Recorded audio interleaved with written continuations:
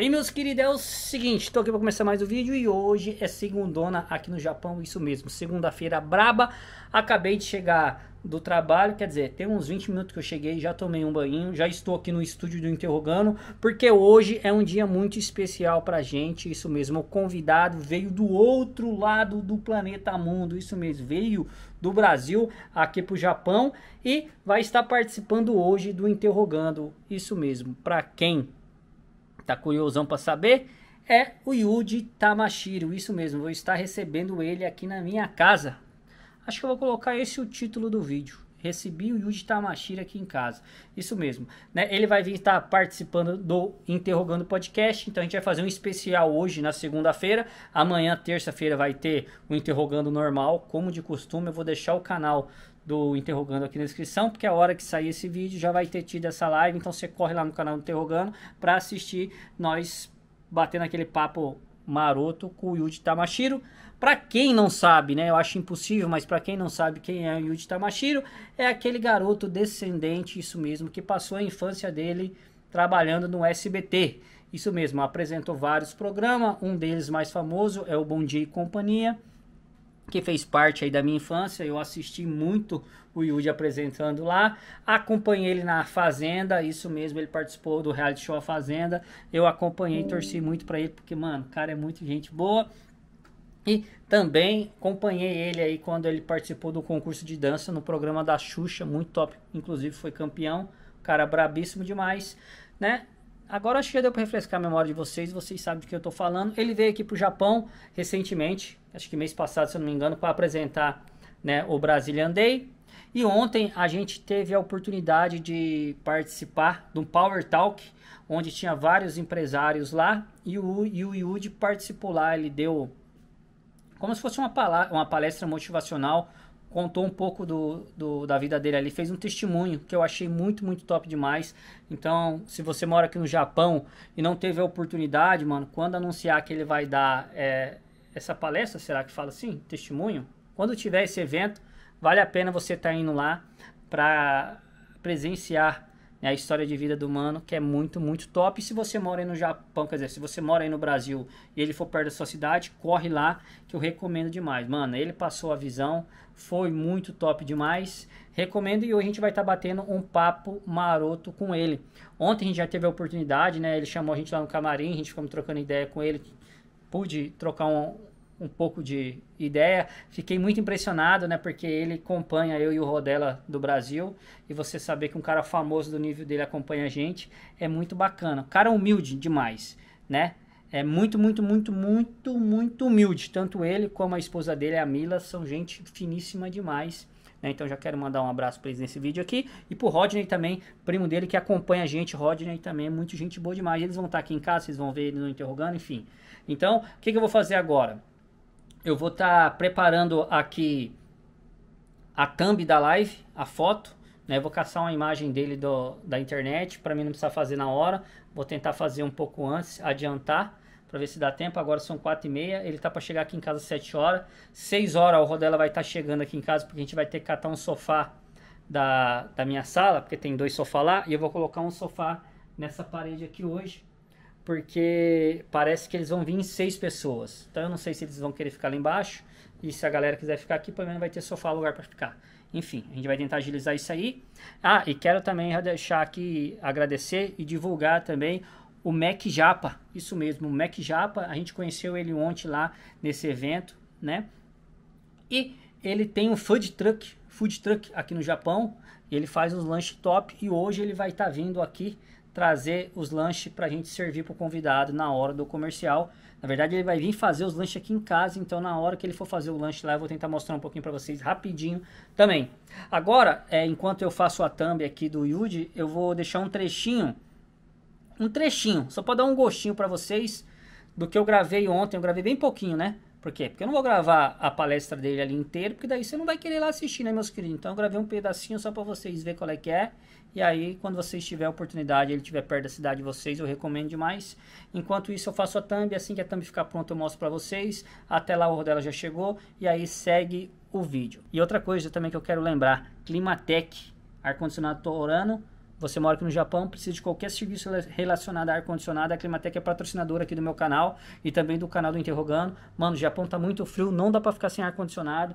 Então precisou, pifou o ar, precisa limpar, precisa comprar ar novo, usado, quer alugar o ar condicionado, eles têm o plano também, é só entrar em contato aí. Que a Climatec, recados dados, vamos editar, porque agora eu tô atrasado, senão não vai dar tempo. Bora lá.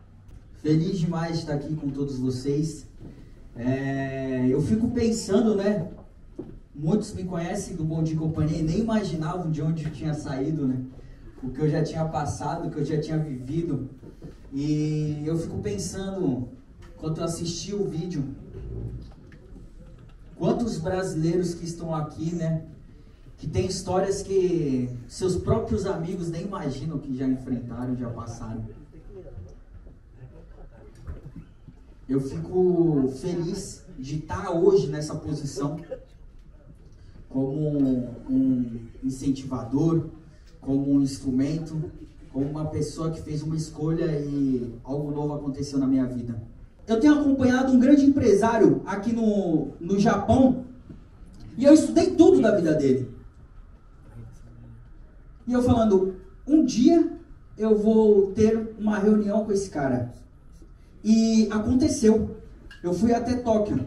E quando eu chego em Tóquio, sento para conversar de negócio, para falar de, de coisas de trabalho, ele vira e compartilha comigo que ele tinha perdido algo muito importante para a vida dele.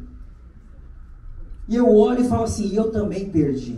E eu entendi as coisas grandes da vida, as coisas que você já consegue enxergar, que foi Deus que permitiu você ter essa visão.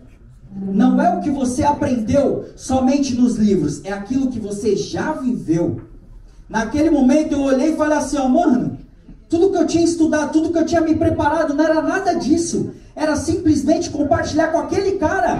Meus queridos, seu Rael chegou da creche, Dona Rafa chegou do trabalho, foi buscar o beibinho lá pra mim, porque eu tava fazendo uma thumb lá, igual eu falei pra vocês. E agora é o momento do papai brincar com o Rael, né, filho? Qual que é do papai? Coré. Coré? É, papai. Ok. Então o papai vai ser esse trator aqui. Então agora eu vou ficar aqui uns 20 minutinhos brincando com ele. Aí a Rafa vai dar banho nele. O Rael Coré? Dozo.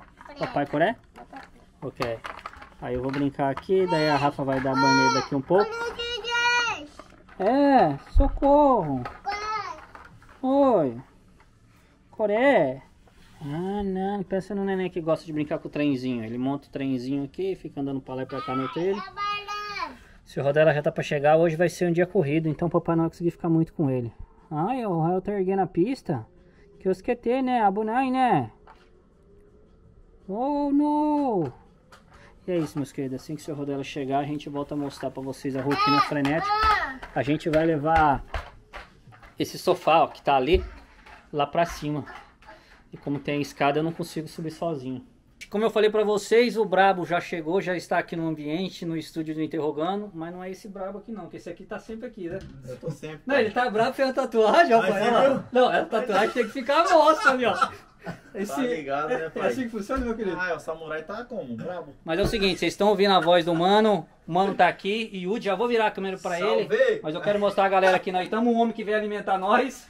né? Esse é o mais importante, né? Isso é comida, né? Isso. É Esse aqui vai sair no meu canal particular, pessoal, né? Então é o seguinte, vai estar na descrição aqui, a galera quiser comer um lanche aqui no Japão, Mac Japa, né? Isso.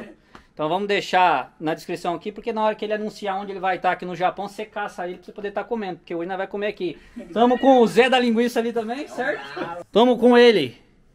Comissário. É o comissário? comissário? Manda aí. Aqui no avião, no avião. Como é que é? Bem-vindos a bordo. Será um prazer atendê-los. Ah, é o canal do Bandinho. Estamos aqui, estamos aqui com o Davi. Mano, lembrando que o canal do Davi também, quer dizer, ele tem um canal de podcast.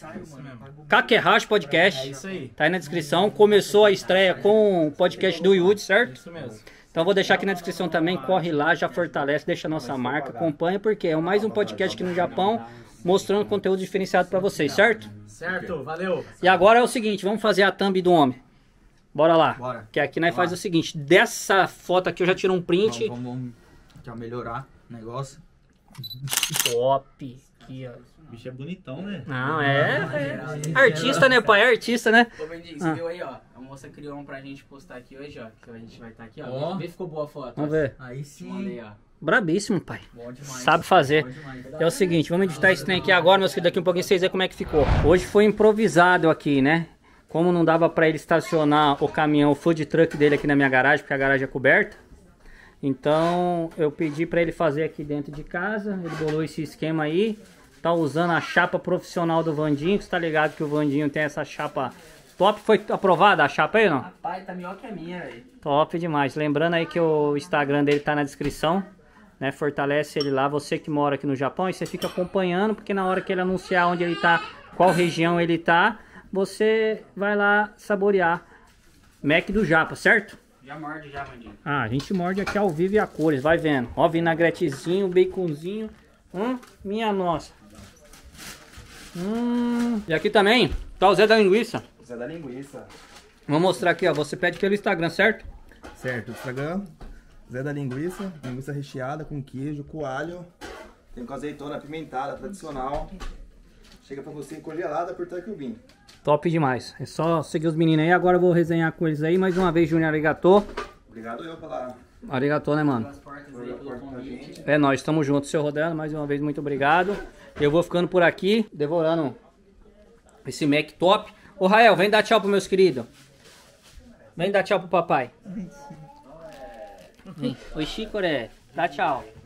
Fala pro meus queridos. Valeu, até mais. Fui.